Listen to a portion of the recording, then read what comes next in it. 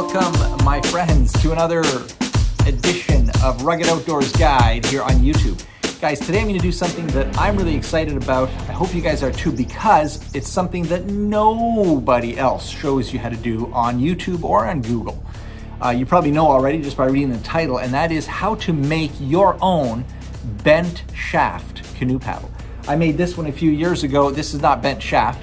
It's just a canoe I put together with some Home Depot pine, which is what I'm gonna do today. I'm gonna show you how to do something that looks very similar to this paddle right here, um, but it's going to be bent shaft. You'd, you'd think somebody would show you how to do that on YouTube. It's not. If you go to YouTube, you'll find all kinds of stuff about, you know, which is better, straight shaft or bent shaft, or the theory behind a bent shaft, or how to paddle with a bent shaft, but not how to make one from scratch. Like, how do you get the bend in the shaft? Do you bend a piece of solid wood? How do you do that? I mean, you can. There are ways, but seriously, how do you make it?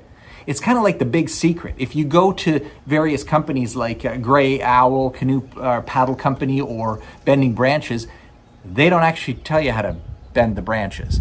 They don't tell you, they just promote their paddles, which are actually very good paddles. I, I wish I had one. But they don't actually tell you how to make it, which makes sense, right? They want to sell you them. Uh, I am not here to sell you paddles. I'm here to show you how to make one. Let's get at it right now.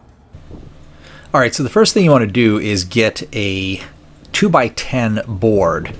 Um, it's probably going to be 60 to 70 inches long or so, and you're going to want to find the angle of your uh, bent shaft. Uh, I used about a 11 to 12 degree angle, and you can use a, a, fancy little tool like I've got here, or you can use like a protractor, whatever you need. And this this tool is going to be, or this uh, board is going to be your shaft shaper or your press.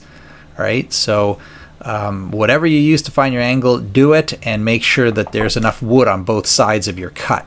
So you're going to uh, just rip it down the center and then somewhere in there you're going to find that angle and this whole thing is going to be clamped together eventually. All right, so uh, I also wanted to find the shape of my paddle and so I thought the best way to do it would be to just get a large piece of paper and I came up with a couple of designs and I finally settled on one of them that I will use as my template. And the best thing here to do is to just fold it in half and make a sort of a half half template so that when you open it you get a perfectly symmetrical blade shape. And so um, that's kind of what I did here as a bit of an experiment. Uh, my shape looks pretty traditional uh, for a bent shaft paddle.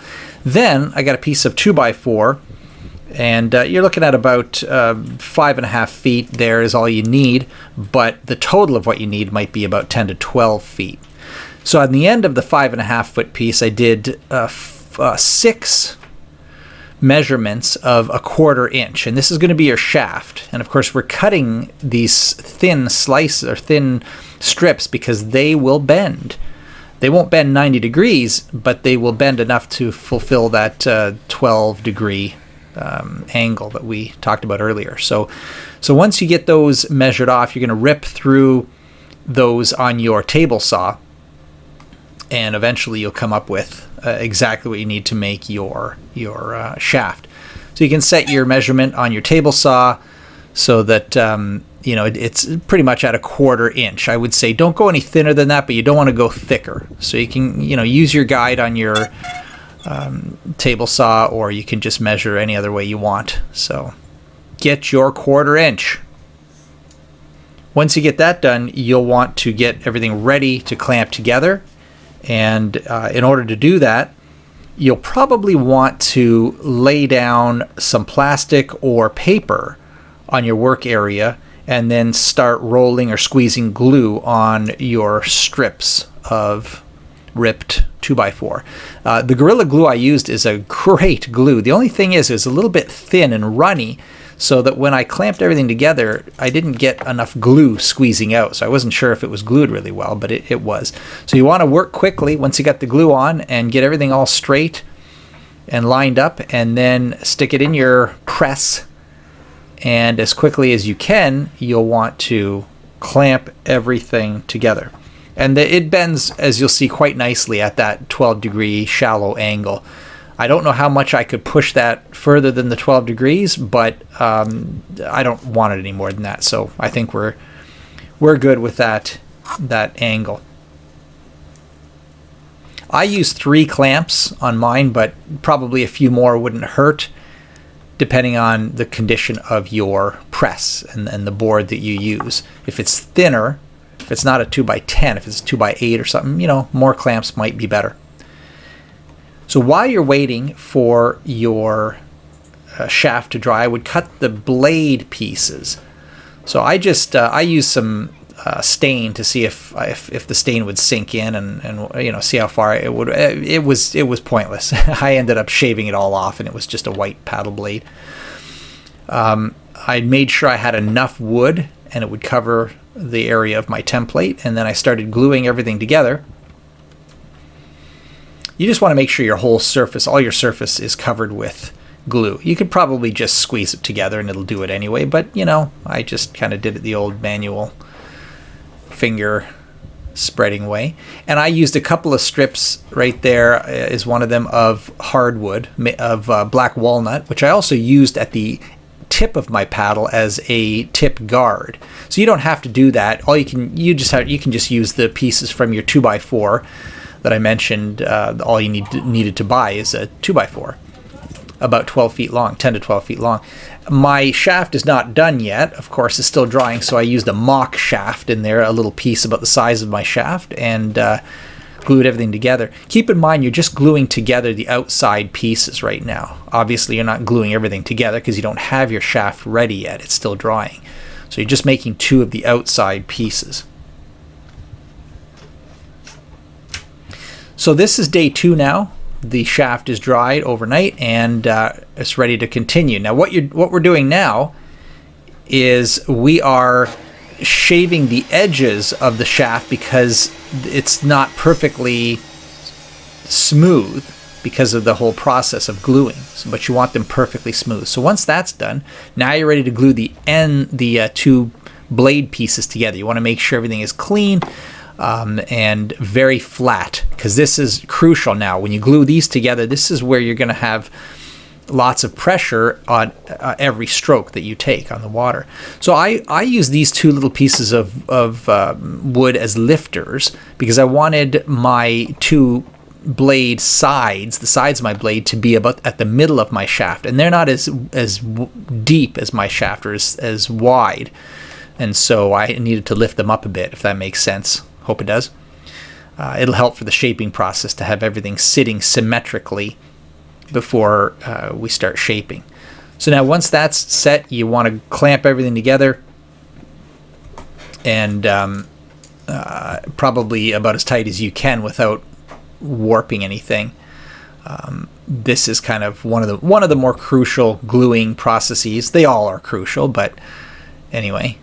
Um, clamped it together as best I could with my three clamps. And um, you can kind of see the end, how it looks there. See how the bottom is raised a bit so that it's sort of centered on that uh, the shaft.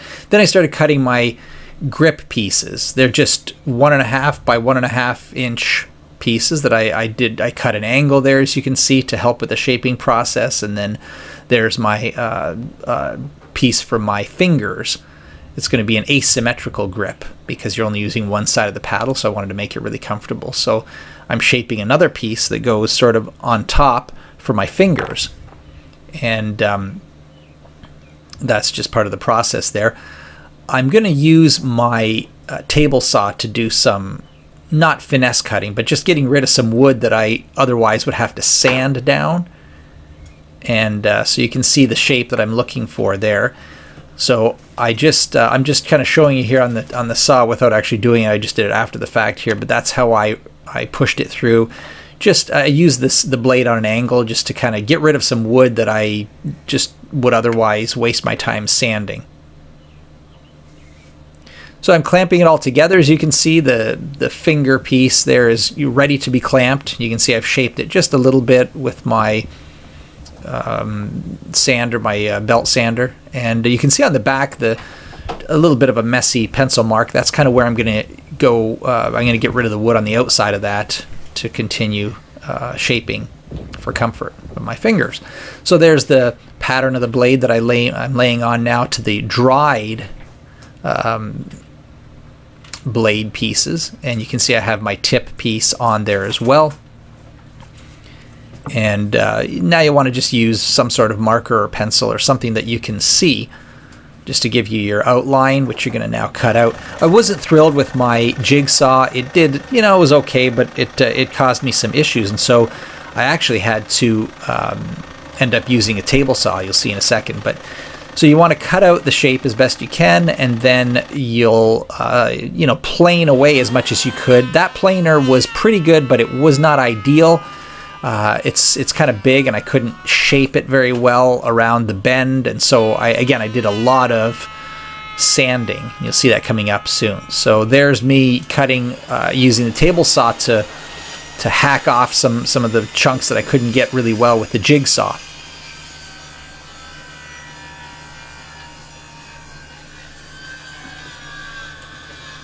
I use the router just to get rid of more wood than I need. I'm not doing it in any sort of finishing way at all. This is just so that the edges don't hurt my hands, the sharp corners, so that I can work on the paddle from this point on. Plus, it's wood that I would have to get rid of anyway in the sanding process, and so the less that I have to sand, the better. If I can get rid of it with another tool quicker and easier than sanding, then that's what I'm doing. So in this case, I actually uh, messed around a little bit with my handle now, which is dry. You can tell we're flying through time here. This is day two. And um, I kind of cut around the edges, again, to get rid of wood that I would normally get rid of through the sanding process.